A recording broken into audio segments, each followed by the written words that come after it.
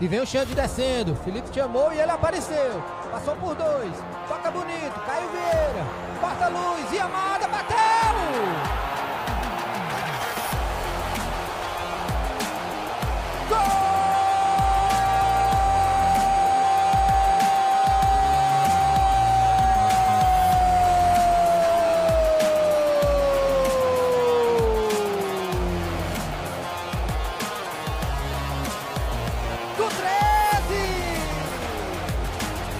a bola o Guilherme Escuro. Quatro jogadores na barreira. Guilherme Escuro autorizado! Gol!